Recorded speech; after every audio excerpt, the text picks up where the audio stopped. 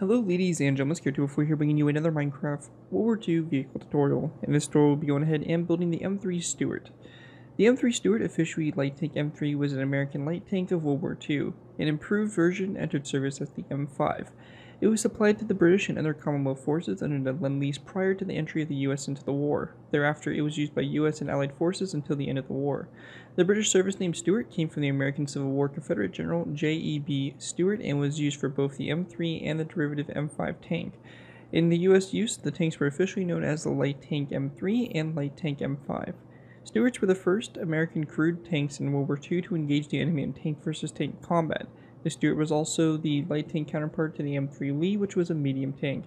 So the Stuart here, one of the iconic vehicles from World War II, uh, it saw pretty much service throughout a majority of the real conflicts of the war, and actually is still seeing service by some countries around the world. So definitely a very uh, historic vehicle and one that's really been around for quite some time. Uh, the tank itself is really cool, and we have here the M3, which is the standard version um, which kind of sets this apart from the M3A1. It's the uh, removal of machine guns to the side. So the M3A1 got rid of the machine guns on both sides of both the assistant driver and the driver's kind of uh, viewports and seating area, and instead uh, just has the whole mounted machine gun in front of the assistant driver.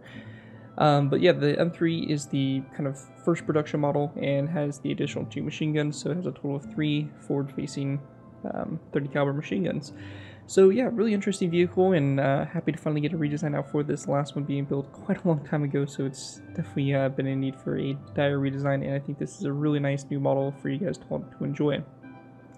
Uh, going ahead and getting started with uh, taking a look at it, we have obviously the front here, so we have all the viewports here for the driver and the assistant driver. We also have the whole mounted machine gun located right here. Uh, to the sides here, we also have the machine guns mounted. Um, and this is right here what makes the standard M3 variant kind of stand out from the uh, you know previous ones. So definitely a uh, kind of easy tell apart from the other ones. We have the road wheels here, real simple designs, and then going ahead and moving into the top here, we have a 30 caliber machine gun mounted on top of the turret, commander's cupola, um, all the various little details here around the uh, back here, the engine bay and all that stuff, radio antenna, and that is pretty much the tank. I think it came out really good, and I think it's going to make an awesome addition to any of your guys' World War II scenarios, especially as a light tank, and especially since it's pretty much all service with pretty much all the major Allied forces of World War II. Anyways, let's go and move into the tutorial by beginning with our first uh, layers, layers 0 and 1. Alright guys, go ahead and move it into our first layers. We have layers 0 and 1. For these layers to go ahead and get started with here, we're going to place down a nether brick slab, followed by a nether brick top slab coming off like so. Going back from the slab, we're going to go in the ground, place down one, two, three, four, five, and six blocks in the ground, just like so. We're then going to place down another brick upside down stair here on the end, like this. Now for the road wheels themselves, real simple. We're going to go and place down a grindstone facing this direction like so, and then a second grindstone coming off of it like so. We then want to go do the same thing again here with two grindstones. So one this way, and this one coming off of it just like that for your uh, road wheels here on the tracks. And then we're going to place down a dark oak wood fence gate followed by a shulker box on its side like that. So the top of the shulker box is like facing this way out to the side. We also want to place down a dark oak wood button on this shulker box like so. On the shulker box and the grindstones, we're going to be going ahead and placing down item frames. and in those item frames, we're going to go ahead and place down some green terracotta blocks, just like that to go and complete the look of the wheels there. Now, for some console versions and stuff like that, there is a conflict with putting buttons or signs and stuff in the same uh, block space as an item frame. Uh, unfortunately for you guys, the best way to go about it is to remove whatever is affecting it. So if there's like a button or signs there, just go ahead and do the item frames instead. Um, it doesn't look as good, but it's kind of the only way we really have around it. So um, just take take to keep that in mind when you're building this because there's been some questions raised uh, lately about what they can do to change that.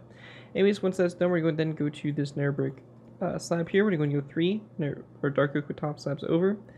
And in coming off the middle dark oak wood top slab, we're going to place down a dark oak fence gate opened up toward that top slab like so. From this, we're going to go take our dark oak wood top slabs. We're going to go back to this location here. So the shulker box, Here. we're going to place down a row three across this backspace like that. We can then go and fill in the space here in between these two rows of three of dark oak wood with this to go ahead and make the bottom of the tank like so. After that, we're going to then go to the sides here, and we're going to basically repeat the same uh, process we did for the tracks just over to the air side. Now, I'm not going to explain this completely, you know, 100% because I just explained it pretty thoroughly over there on the right side. If you do get stuck at any point, just refer back to the right side and uh, basically copy what we did over there. And just bring it over to this side, and you'll pretty much be good to go. But um, as you can see, we have our grindstones here, and we're going to go and put our item frames on these blocks. So just like this, and we have our road wheels, and we have that all set up and good to go. Now with that done, the last thing for us to do is to go ahead and grab some zombie heads, and on the inside here of these nether brick ups downstairs, we're going to place down some zombie heads like so, and also come off these top slabs here toward the inside here on the front.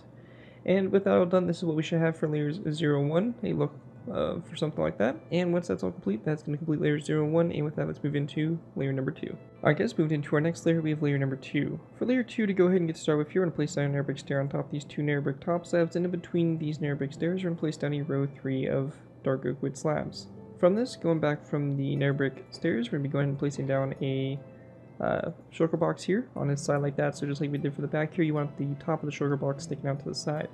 We're then going to place down a dark oak wood button on both sides of these shulker boxes, followed by an item frame and a cobweb in the item frame, like so for these front uh, drive sprocket wheels. After that, uh, we're going to then grab our dark oak wood stairs. We're going to place down a dark oak wood stair like this to both sides, and in the middle space, we're going to go and place down a spruce stair, just like that. From this, we're going to take our green terracotta, we're going to place down a row 3 across of green terracotta, and we want to go and then place down a nether brick top slab to both sides like so.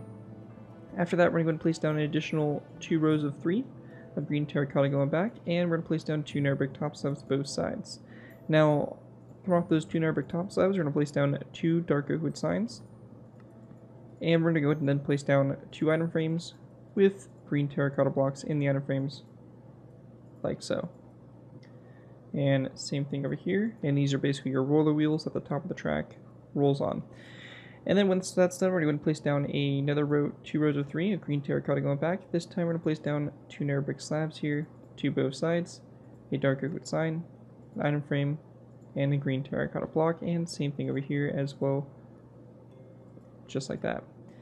After that, uh, we want to go and then place down a dark oak wood trapdoor to both sides like this, and a row of three of green terracotta across in between those dark slabs.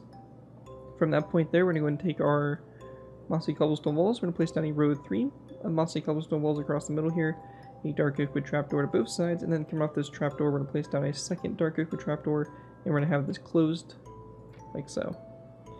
And once you have that all complete there, that is going to wrap up what we have for layer 2. This is what it should look like from up above here so far. And with that, that's it for the layer. Let's go and move on to our next layer, layer number 3. Alright guys, moving into our next layer, we have layer number 3. Now for layer 3, to go ahead and get started with here, we're going to place down a green carpet on top of these two nether brick stairs. We then want to place down a dark oak trapdoor that goes back from those carpets, and we're going to place down an item frame here on the trapdoor with a snowball in it, uh, like so. After that, we're going to place down a second dark oak trapdoor back to both sides, and we want to go and then place down a daylight detector over here to the right side, and then coming off the daylight detector, we're going to place down a end rod just like that. Once uh, that's finished there, we're going to place down a green terracotta block here in the middle, a dark oak wood stair like this to both sides. And then we also want to go ahead and place down a spruce wood trapdoor on top of this green terracotta block over here to the left side. Now with that done, uh, we're going to go ahead and grab ourselves some black concrete. And for black concrete here, we're going to go ahead and place down a row of three behind the stairs and green terracotta block. And then to both sides of that row of 3 of concrete, we're going to place down a green terracotta block like so. We then want to place down an end rod, coming off these two green terracotta blocks, and then we're going to place down an item frame on top of this nether brick top slab. In the item frame itself, we're going to place down a green stained glass pane, just like that, to kind of keep a little more green color and kind of cover up the tracks for uh, basically what the fenders would be. Um, once that's done, uh, we're going to then go to the um, this row here, we're going to place down a row of 5 of green terracotta all the way across, and we're also going to place down two dark oak wood buttons on both ends, like so.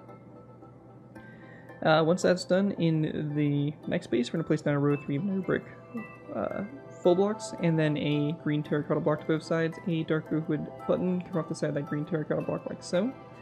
And then we want to place down a row of 3 of green terracotta across, followed by a mossy cobblestone wall, again both sides, and a dark oak wood stair coming off the two mossy cobblestone walls like that. And then in between the dark oak wood stairs, we're going to place down a row 3 of green terracotta. We also want to place down a row 3 of dark oak top slabs coming off these mossy cobblestone walls. And we're going to also place down a row 3 of dark oak wood stairs on top of those top slabs. With that done, on the dark oak wood stairs here to both ends, we're going to place down a uh, item frame with a red stained glass paint or stained glass block in it, and then a dark oak fence gate coming off the face there of that dark oak stair. And once you have that all complete there, that is going to wrap up what we have for layer number uh, three for the build. And with that, let's go ahead and move into our next layer, layer number four. Moving into our next layer, we have layer number four. For layer four to go ahead and get started with here, we're going to go ahead and take our dark or green terracotta. We're going to place down a green terracotta block on top of this green terracotta block here. We're going to place down a dark oak wood upside down stair coming off and going forward, followed by a zombie head to both sides of the dark oak wood stair, and then coming off the face here, the dark oak stair, and place down two end rods like that for the main 37mm gun. After that, to both sides of this green terracotta block, we're going to place down a mossy cobblestone wall, followed by a row 3 of green terracotta across. On both sides of this row 3 of green terracotta, we're going to place down a item frame with a black concrete block in the item frame, and we're going to also place down a dark oak wood sign on the side of the green terracotta block, like so. After that, we're going to place down another green terracotta block here in the middle, followed by a mossy cobblestone wall in the corners, just like that.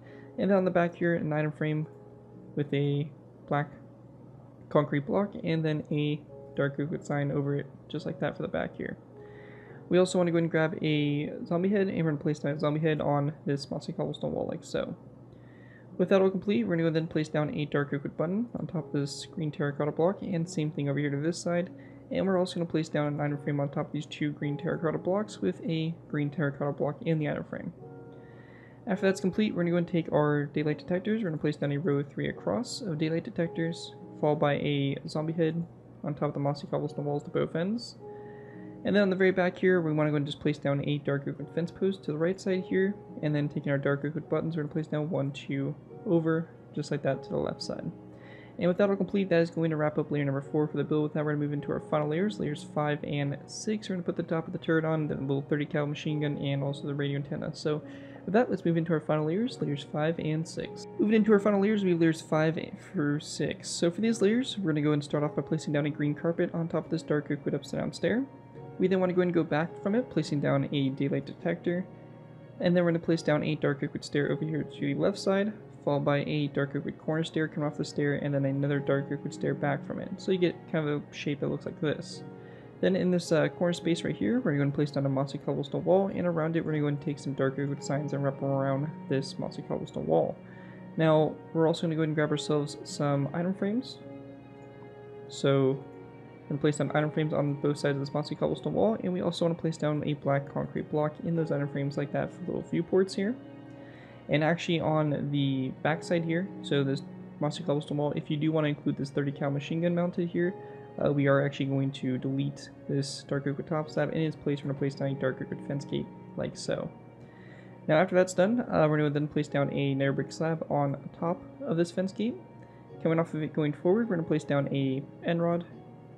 We're going to then place down a zombie head over here to the left side followed by an item frame to the right side, and in the item frame we're going to go and place down a black bed, turn sideways like so, and then a dark oak sign on the side of it, and then we're just going to place down a wither skeleton skull on the back here of the slab. So that right there is going to make the 30 cal machine gun up on top there. Um, so that's good there. Uh, also continuing on with the turret, we just want to place down a dark oak wood slab to the side coming off this corner stair, and then we're going to place down a zombie head at a 45 degree angle on top of that mossy cobblestone wall there in the corner. Last thing for us to do for this build is to go ahead and grab our iron bars and going up from this dark oak fence post, we're going to go up and diagonal, one iron bar, up, and diagonal, one iron bar, just like that. And with that all complete, that is going to wrap up my design for the M3 Stuart light tank. Hope you guys do enjoy this build and are able to put it to good use. If you do end up using it, I do ask that you guys give me proper credit for it. This being anything from a the build, link to my channel or this video if this does appear on social media sites. As long as you guys give me proper credit for the build, your free user favorite projects you guys are working on. Overall, enjoy the build, have fun with it, and all that fun stuff. But yeah, other than that, uh, thank you guys all so much for watching. As always, don't forget to like, comment, and subscribe. It's been to before, and I'll see you guys next time.